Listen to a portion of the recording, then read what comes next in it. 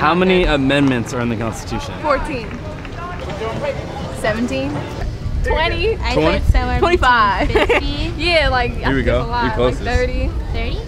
No, she got 25 is closest. The answer is actually 27. 27. 27. Yeah. You had it came back. Yeah. Yeah, yeah. 32.